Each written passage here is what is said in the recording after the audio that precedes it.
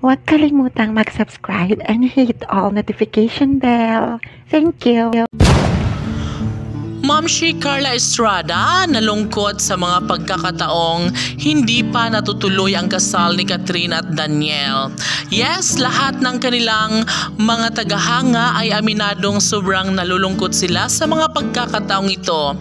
Isa sa pinakamagandang pangyayari sa buhay at relasyon ni Catherine at Daniel ay ang matuloy ang kanilang kasal na siyang pinakainabangan hindi lamang sa kanilang mga pamilya maging sa kanilang milyon-milyon na mga taga-subaybay.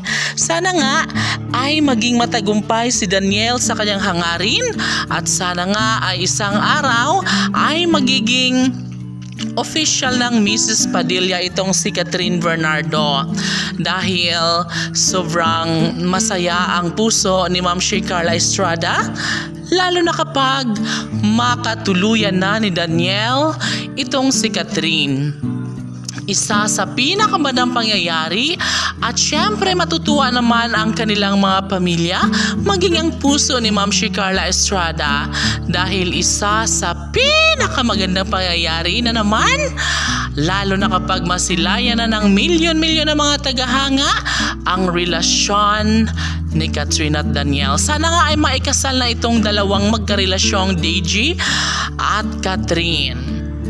Sabi nga ni Ma'am si Carla Estrada na lahat ay gagawin ni Daniel Padilla para lamang na siya ay magtagumpay sa kanyang hinahangad. Isang kasal ang uh, laging dinarasal ni Daniel Padilla na matuloy ito para naman matugunan ang lahat ng kanyang dinarasal sa may kapal. So si Catherine Bernardo na ang sagot sa lahat ng kanyang panalangin. Sana nga ay magiging happy na muli ang puso ni Daniel Padilla. Dahil sa totoo lang, ay si Catherine lamang ang babaeng napili at napusuan ni Daniel Padilla. Sana nga ay magtagumpay sila para naman ay matuwa ang damdamin ni Ma'am Shi Carla Estrada. Katniel forever! Thanks for watching. Don't forget to like and comment and subscribe.